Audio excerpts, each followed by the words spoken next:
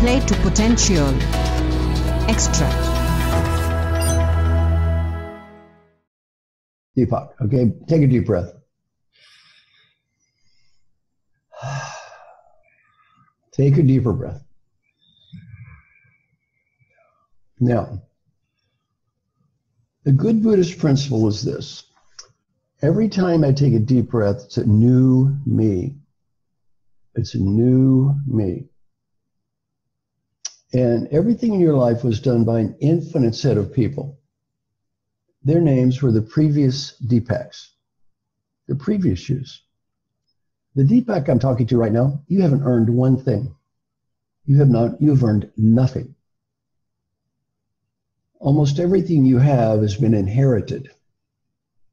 It's a gift from the previous Deepaks. You didn't earn a thing, they did. The guy I'm talking to, you haven't earned anything.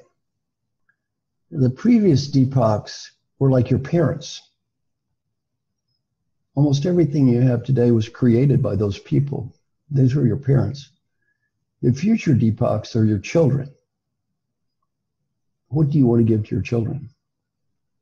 What do you want to give to your children? And well, to me, every time you take a breath, it's a new you.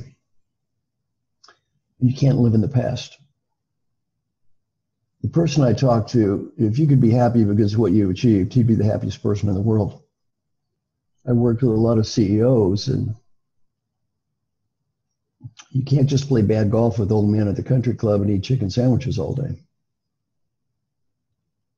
Mm. You've got to earn. You've got to earn respect every day, and not only earn the respect of other people, you need to earn the respect of the person you see in the mirror. And when you stop doing that, you live in the past.